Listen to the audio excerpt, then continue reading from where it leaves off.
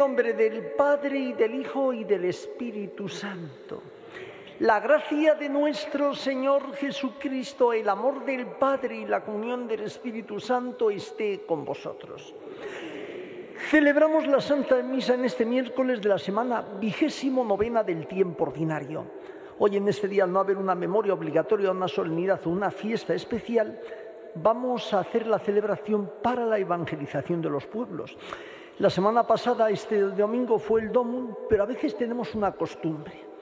Pasa ese día ya hasta el año que viene, hasta la próxima celebración. Seguimos en el mes de octubre, mes de la misión. Todos los días tenemos que recapacitar y reflexionar sobre nuestra condición misionera. Por eso, qué mejor que vivir ahora el sentir que pedimos una vez más para que el Señor llegue a todos los pueblos. No lo tenemos que pedir un día y luego después, sino lo pedimos para que siempre haya esos misioneros que salgan e inviten a todos al banquete. Y nosotros aquí también invitemos a todos al banquete. Como siempre, bienvenidos los que estáis aquí, los que nos veis a través de Trece en estos misterios, que comenzamos en silencio pidiéndole perdón al Señor porque somos pecadores.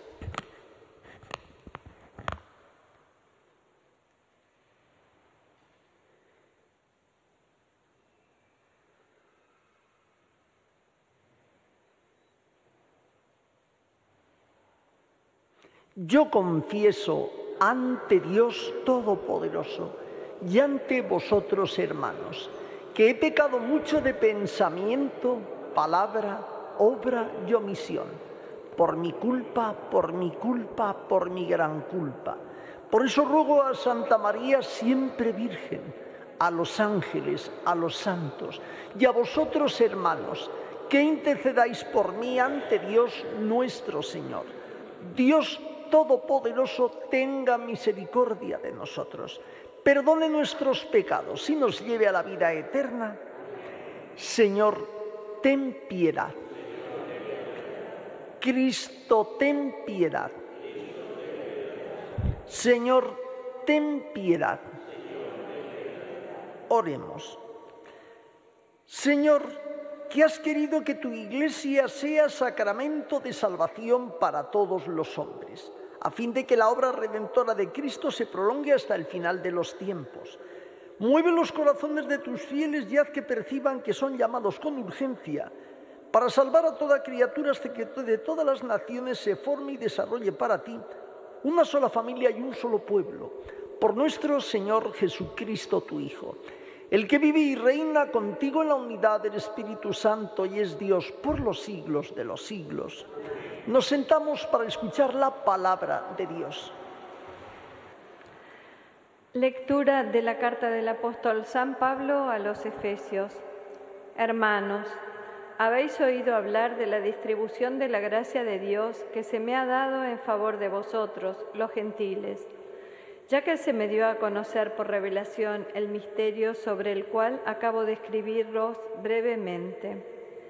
Leedlo y veréis cómo comprendo yo el misterio de Cristo, que no había sido manifestado a los hombres en otros tiempos, como ha sido revelado ahora por el Espíritu a sus santos apóstoles y profetas, que también los gentiles son coherederos, miembros del mismo cuerpo y partícipes de la misma promesa en Jesucristo, por el Evangelio, del cual soy yo servidor por la gracia de Dios por la gracia que Dios me dio con su fuerza y su poder.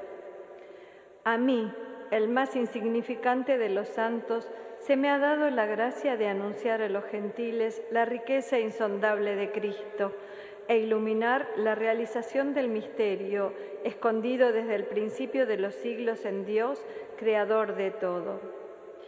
Así, mediante la Iglesia, los principados y potestades celestes conocen ahora la multiforme sabiduría de Dios, según el designio eterno, realizado en Cristo, Señor nuestro, por quien tenemos libre y confiado acceso a Dios por la fe en Él. Palabra de Dios. Te alabamos, Señor. Sacaréis aguas con gozo de las fuentes del Salvador. Sacaréis aguas con gozo de las fuentes del Salvador. Él es mi Dios y Salvador, confiaré y no temeré, porque mi fuerza y mi poder es el Señor. Él fue mi salvación, y sacaréis aguas con gozo de las fuentes de la salvación.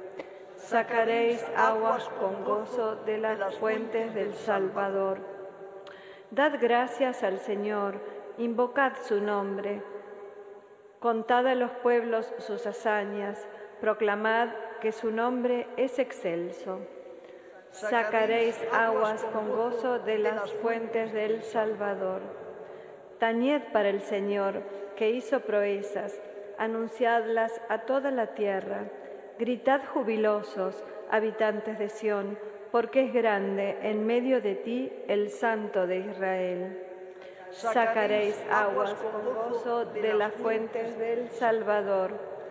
Aleluya. Aleluya.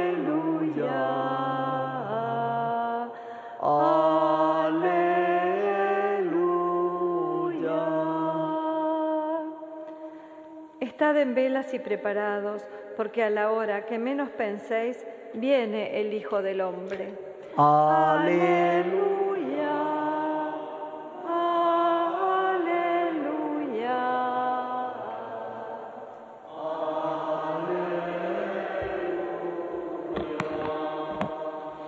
El Señor esté con vosotros. Lectura del Santo Evangelio según San Lucas. En aquel tiempo dijo Jesús a sus discípulos, comprended que si supiera el dueño de casa a qué hora viene el ladrón, velaría y no le dejaría abrir un boquete en casa. Lo mismo vosotros, estad preparados porque a la hora que menos penséis, viene el Hijo del Hombre. Pedro le dijo, Señor, ¿dices esta parábola por nosotros o por todos? Y el Señor dijo, ¿quién es el administrador fiel y prudente a quien el Señor pondrá al frente de su servidumbre para que reparta la ración de alimento a sus horas? Bienaventurado aquel criado a quien su Señor al llegar lo encuentre portándose así. En verdad os digo que lo pondrá al frente de todos sus bienes.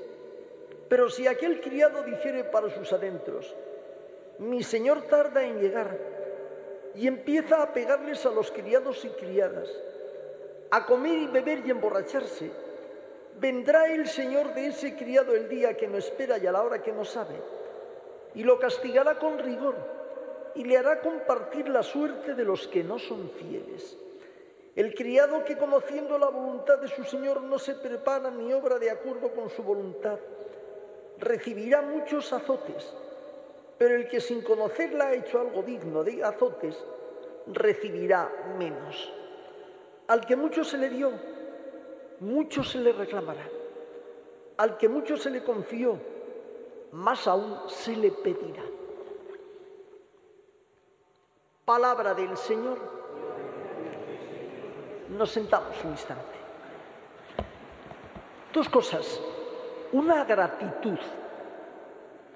Gratitud a Dios porque, como dice San Pablo, hemos sido siempre elegidos, aunque perteneciésemos al mundo gentil. El pasado domingo, aunque no fuese una memoria obligatoria, aunque fuese una conmemoración o un recuerdo, se celebra cada 20 de octubre al centurión Cornelio, aquel hombre que en los hechos de los apóstoles le dice a Pedro, anda, ven a casa y Pedro al principio tiene su, su situación reacia porque es un pagano y es cuando el Señor le, le presenta a Pedro en éxtasis aquella suerte de animales prohibidos por la ley, le dice, mata y come y Pedro dice, no Señor, yo no comeré nada que no que sea impuro y el Señor le dice, lo que Dios ha declarado puro, tú no lo llames impuro. Entonces Pedro comprende que Cornelio, y como dice la tradición, Cornelio es el primer gentil convertido a la fe. Mira, tú y yo, ninguno merecíamos estar en, en, la, en, la, en, las manos de Dios. Ninguno mereceríamos estar en la salvación, pero Dios, que es tan bueno, ha abierto todo su amor y toda su misericordia para todos nosotros para cada uno de nosotros, porque Dios te quiere, ¿sabes? Y porque Dios quiere que sigamos siendo misioneros para que su amor llegue a todos, todos, todos los hombres. Acuérdate de una frase que he recordado alguna vez del santo cura de As, cuando le dice a Dios, Señor, utiliza conmigo, usa conmigo el doble de misericordia, ¿por qué? Porque me has dado todos los dones, porque me has hecho cristiano, porque me has dado todas las gracias que me podías dar. ¿Y qué? ¿Qué pasa? Pues que el día que me pidas cuentas, no vas a decir, te voy a exigir cuentas por todo lo que te he dado, misericordiosamente, pero con justicia. Por eso el Evangelio dice, oye, al que mucho se le dio, mucho se le exigirá. Y Dios te lo pedirá con misericordia y verá si has tenido o no misericordia. Como recuerda Santiago en su carta, el juicio de Dios será sin misericordia para el que no vivió la misericordia, porque la misericordia sobrepasa los límites del juicio, porque la misericordia está por encima del juicio, porque si tú has sido misericordioso, Dios será misericordioso contigo. Incluso Dios será misericordioso si tú no lo has sido, pero por su misericordia te dirá, ¿qué has hecho? Soy digno hoy, me porto debidamente, uso de la misericordia de Dios debidamente o abuso de ella de malas maneras. Ah, como Dios todo. No, no. Dios es misericordioso, pero es muy justo. Y su justicia es misericordiosa. Y su misericordia es justa, no justiciera, justa, para dar a cada uno según sus obras. Y Dios espera que tú des la talla, hasta donde puedas, porque Él pone el resto, pero que tú des la talla. ¿Estás dispuesto a dar esa talla? ¿Estás dispuesto a decirle a Dios que sí? Fíjate, Dios va llamando, como vemos en esa parábola, al amanecer, al atardecer, por la tarde, al final. ¿Cómo estás aquí? Nadie me ha contratado. Vete tú también, también te quiero a ti. Dios quiere a todos. ¿Y tú y yo qué vamos a hacer? ¿Apropiarnos de la fe para nosotros? ¿Quedarnos con la fe de Dios para nosotros como aquellos obreros de la viña? Y cuando venga Dios decir, no, no me interesa, no, no, no, pues ese día cuando tengas que echar cuentas con Dios, no le puedes decir no me interesa porque Dios sí que quiere ver a ver cómo has actuado. ¿Cómo voy obrando yo? ¿Pudo ser el hombre de confianza, el hijo de confianza de Dios, el hermano de confianza? ¿O dijo que desear? Mira, si dejas que desear y lo reconoces, Dios te quiere. Y Dios se da por ti. Y si no lo reconoces, pues el Señor te dirá, oye, ¿por qué no lo has reconocido? En la vida lo importante es ser fieles, es saber interpretar bien nuestro papel, lo que nos toca, es saber decirle a Dios, yo te quiero, yo te amo, yo quiero estar contigo, yo quiero estar a tu lado, yo quiero dejar quererme por ti. ¿Te dejas querer por Dios? ¿Te dejas amar por Dios? Que muchas veces tú y yo no sabemos pedir lo que nos conviene, es el Espíritu el que intercede por nosotros, como dice San Pablo con gemidos inefables. Hoy más que nunca tú y yo necesitamos de Dios. Hoy más que nunca tú y yo necesitamos de su misericordia. Hoy más que nunca tú y yo necesitamos de su fortaleza. Necesitamos de la fortaleza que dijo la Virgen del Pilar. Necesitamos abrir de corazón, de par en par, como decía San Juan Pablo II que celebramos ayer, nuestras puertas, las puertas de nuestra vida a Dios, sin tener miedo, diciendo el Señor, no tengas miedo, solo ten confianza. Hoy que es memoria libre, que es San Juan de Capistrano, también se encargó de difundir el amor al Señor, al corazón de Jesús, el amor a su nombre junto con San Bernardino de Siena, el amor al Inmaculado Corazón de María. Ese es el fruto de la misericordia que no tiene límites, la misericordia que no tiene fin. Por eso podemos decir con el Salmo, dad gracias al Señor porque es eterna su misericordia. Se acordó de su fidelidad porque es eterna su misericordia. Le puedes decir hoy a Dios, confía en mí. Mira, tú tienes que confiar en Dios y Dios confía en ti. Me acuerdo aquello del Padre Pío cuando aquel médico le pidió que le ayudase a construir San Giovanni Rotondo. Le dijo el médico, Padre, es que yo no creo. Y le dijo el Padre Pío, pero Dios cree en ti. Piensa que Dios confía en ti y Dios sabe que puedes llegar al final. ¿Estás dispuesto? Bien, pues vamos ya a continuar con la celebración y le vamos a pedir al Señor por intercesión de la Sagrada Familia que seamos capaces de dar la talla hasta donde podamos. Que Dios no te pide más de la cuenta, pero hasta donde puedas llegar. A partir de ahí ponte manos del Señor y de su Madre y de San José para qué? Para que ellos te ayuden a llegar hasta el resto, porque Dios no nos prueba por encima de nuestras posibilidades, nos da todos los dones para que lleguemos hasta el final, contando con su ayuda, contando con su amor, contando con su misericordia, y así seremos siervos sencillos, siervos humildes que han hecho lo que tenían que hacer de pie.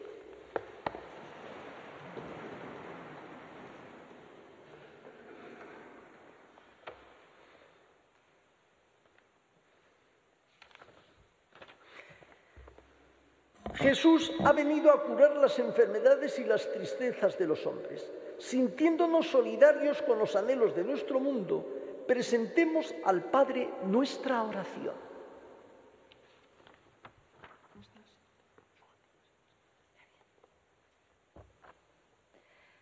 Para que entre los hombres crezca el amor y la solidaridad, roguemos al Señor. Te rogamos, para que el Señor libere al mundo de la guerra y del hambre.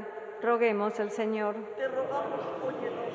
Para que los países ricos dejen su egoísmo y respondan a la llamada de los pobres, roguemos al Señor. Te rogamos, óyenos. Para que los que entre nosotros sufren la pobreza, la enfermedad y la soledad reciban la ayuda de los hermanos, roguemos al Señor. Te rogamos, óyenos para que los enfermos incurables y los que sienten cercana la muerte puedan experimentar la paz del Señor y la compañía de sus familiares y amigos. Roguemos al Señor. Para que los médicos, enfermeros y todos los que se dedican al cuidado de los enfermos sepan transmitir ánimo y esperanza. Roguemos al Señor. Para que la Iglesia entera y cada uno de nosotros seamos testigos del amor de Dios, de palabra y de obra. Roguemos al Señor. Te rogamos, óyenos. Y como cada día en silencio pedimos desde el interior del corazón aquello que Dios conoce, pero nosotros solo queremos pedir con confianza.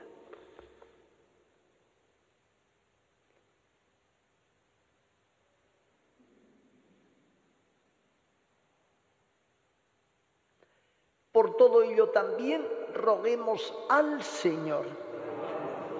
Acoge, Señor, nuestras esperanzas y anhelos, que tu espíritu de amor y fortaleza renueve el corazón de todos los hombres, para que el mundo entero reciba la buena noticia que vino a realizar entre nosotros tu Hijo Jesucristo nuestro Señor, el que vive y reina por los siglos de los siglos. Nos sentamos.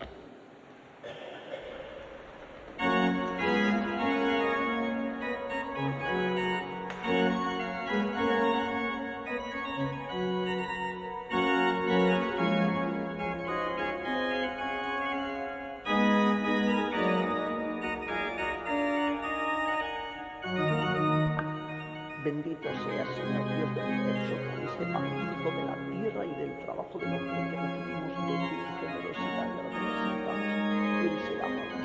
nosotros,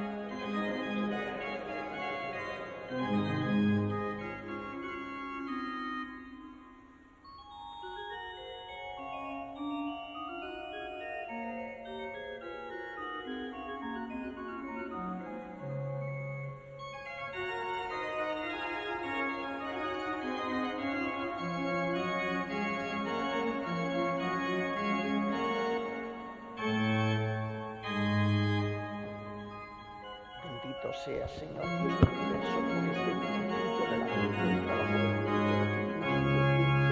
ya lo representamos.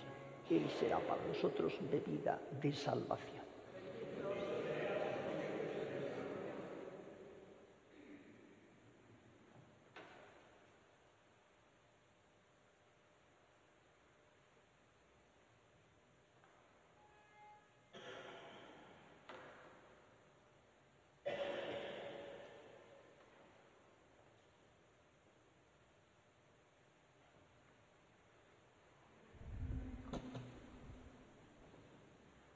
Orad hermanos para que este sacrificio mío y vuestro sea agradable a Dios Padre Todopoderoso.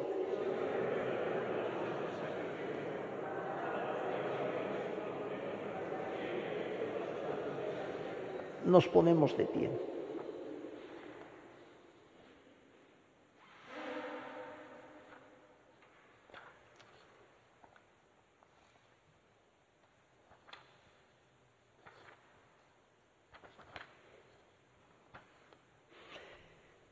Mira, Señor, el rostro de tu Cristo que se entregó a la muerte para redimirnos a todos, a fin de que por su mediación sea glorificado tu nombre en las naciones, desde donde sale el sol hasta el ocaso y se ofrezca en todo el mundo un sacrificio a tu majestad. Por Jesucristo nuestro Señor. El Señor esté con vosotros. Levantemos el corazón. Demos gracias al Señor nuestro Dios.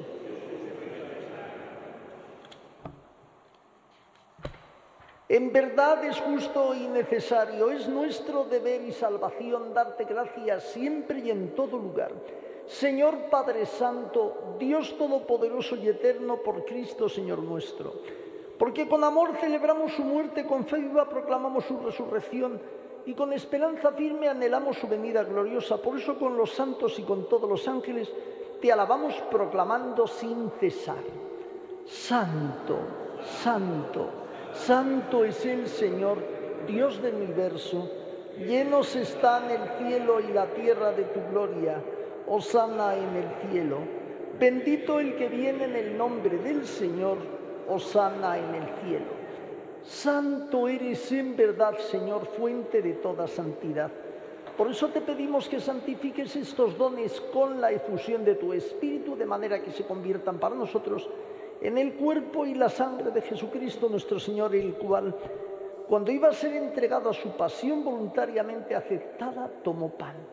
Dándote gracias, lo partió y lo dio a sus discípulos diciendo, tomad y comed todos de él, porque esto es mi cuerpo que será entregado por vosotros.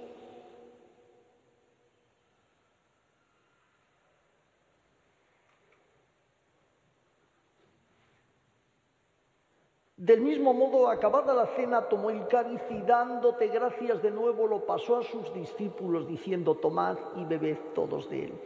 Porque este es el cáliz de mi sangre, sangre de la alianza nueva y eterna, que será derramada por vosotros y por muchos para el perdón de los pecados. Haced esto en conmemoración mía.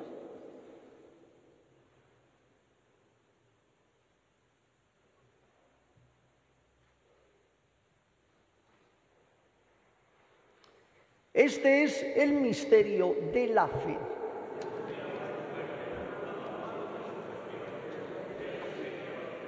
Así pues, Padre, al celebrar el memorial de la muerte y resurrección de tu Hijo, te ofrecemos el pan de vida y el cáliz de salvación. Y te damos gracias porque nos haces dignos de servirte en tu presencia. Te pedimos humildemente que el Espíritu Santo congregue la unidad a cuantos participamos del cuerpo y la sangre de Cristo.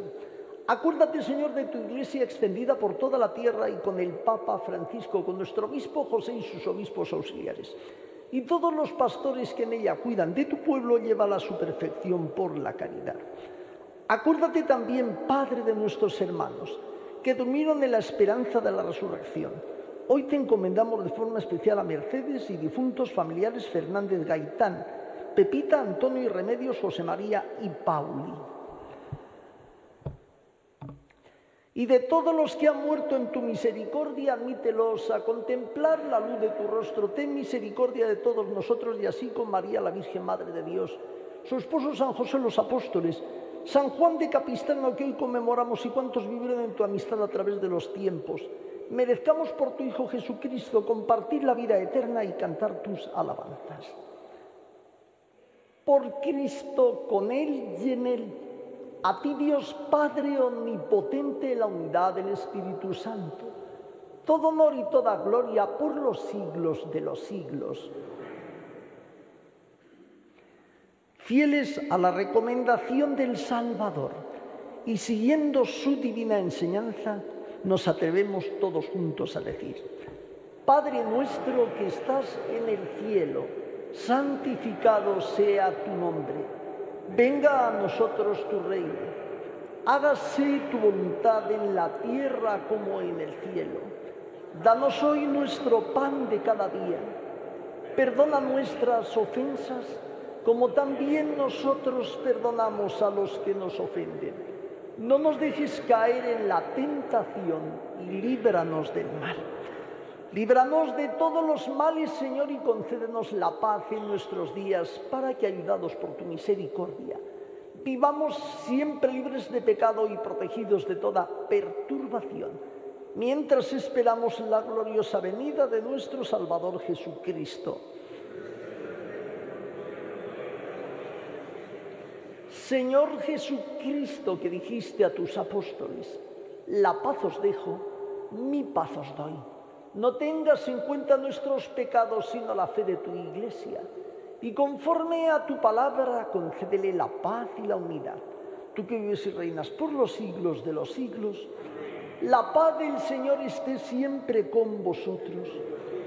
En Cristo intercambiad un gesto de paz.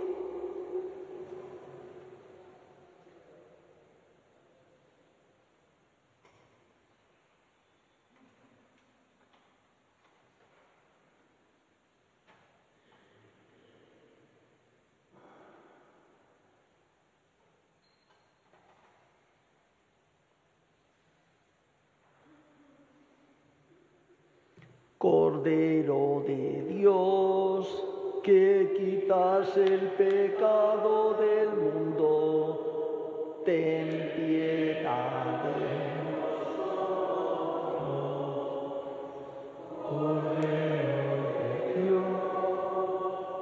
que quitas el pecado del mundo, ten piedad de nosotros.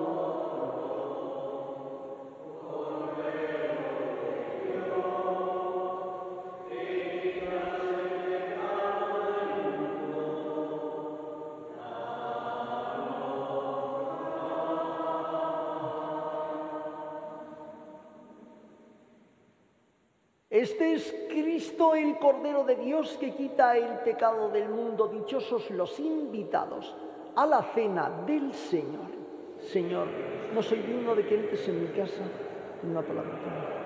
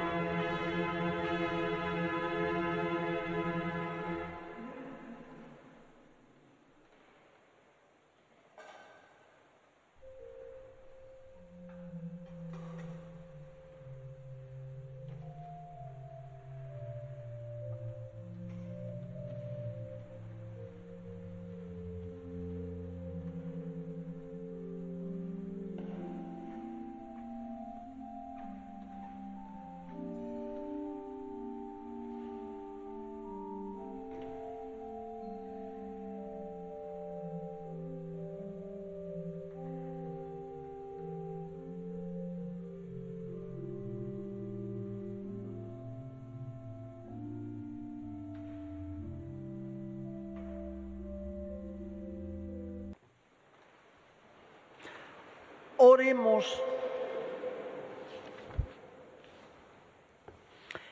Te rogamos, Señor, que nos santifique la participación en tu mesa y haz que todas las naciones reciban con gozo por el sacramento de tu iglesia la salvación que tu unigénito efectuó en la cruz por Jesucristo nuestro Señor. Pues seguimos en este mes de octubre, mes misionero, mes del Rosario, mes del Pilar.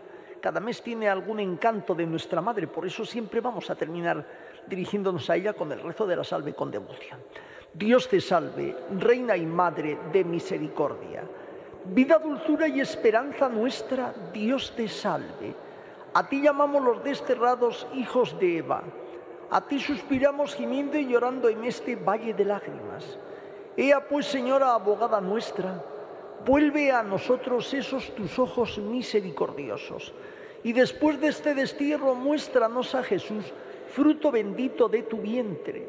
Oh clementísima, oh piadosa, oh dulce siempre Virgen María ruega por nosotros, Santa Madre de Dios, para que seamos dignos de alcanzar y gozar las promesas de nuestro Señor Jesucristo. Amén.